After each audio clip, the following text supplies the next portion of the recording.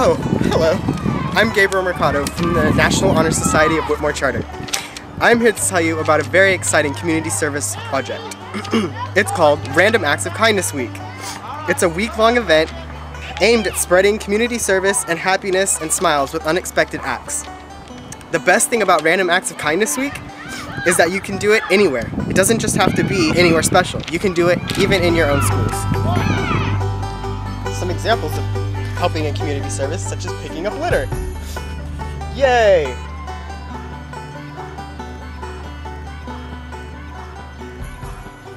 Another example could be writing a letter to a police officer or firefighter to let them know that you care and appreciate their service. Another example of showing kindness is opening a door for somebody. Well, thank you. You're welcome. Mrs. Hayes, tell us when can we do these random acts of kindness? Well, students, technically the Random Act of Kindness Week is February 13th through 17th. However, we can be kind year round.